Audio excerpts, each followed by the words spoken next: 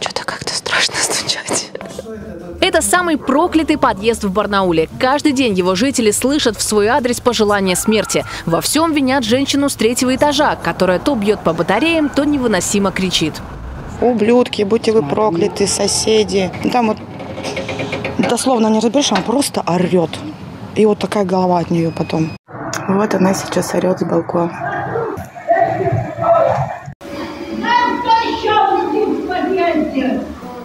Не могут жители подъезда смириться и с запахами из квартиры, и с тараканами. По словам жильцов, женщина не убирает за домашними животными. Спустя время хозяйка все-таки открывает нам дверь. По ее словам, соседи наговаривают, еще и дверь портят. А как вы думаете, почему вот так вот от соседей к вам относятся? А потому что боятся, потому что я владею родовой силой. Я человек, который владеет силой, большой силой. И стоит мне пустить одну слезу, они неделю не будут жить.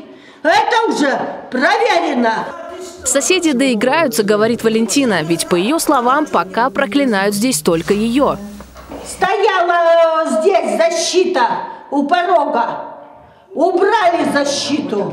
Кто убрал? Я когда проснулась, я вижу пространство все темное, абсолютно темное. Я начинаю убирать. Валентина живет одна с собакой и кошками. Почти никогда не выходит из дома. Врачи тогда приезжали, они вышли оттуда вот по зиме. Вышли оттуда, вот так вот схватились. На этом, на милиционере даже вот эта вот паутина с тараканами на шапке была зимой.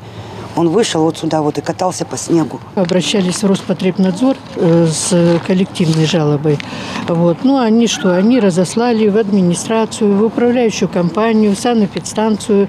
Э, Теперь, значит, вот по, вот самое, по животным. Ну, везде все отписки. Соцзащита вроде как э, обязали дочку, чтобы она приходила. Но я вот ее, например, не вижу. Сейчас регулярно вызывают полицию раза три в неделю. Над, над- ней вообще никто не живет, получается.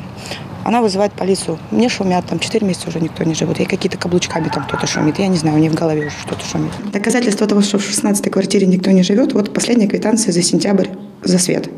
Ноль киловатт вообще. А кто там живет-то? Людка, Женька, ее